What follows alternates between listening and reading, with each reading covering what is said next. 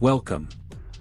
In this video we will talk about code P0004, its symptoms, causes and possible solutions. The P0004 trouble code pertains to the fuel volume regulator control circuit and indicates that the circuit's voltage is higher than the expected range. This code is commonly encountered in vehicles with electronic fuel injection systems. Code symptoms P0004 1. Reduced fuel efficiency. 2. Poor engine performance. 3. Hard starting.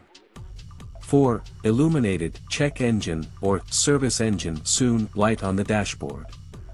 Causes of the code P0004 1. A faulty or failing fuel volume regulator.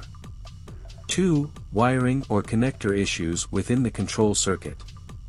3. A malfunctioning fuel pressure sensor. 4. Fuel system abnormalities, such as leaks or clogs. 5. Problems with the engine control module, ECM. Code Solutions P0004 1. Inspect and repair the fuel volume regulator and related wiring. 2. Test and, if necessary, replace the malfunctioning fuel pressure sensor. 3. Address and rectify any fuel system issues, such as leaks or clogs. 4. Use an OBD2 scanner to clear the trouble code from the vehicle's memory.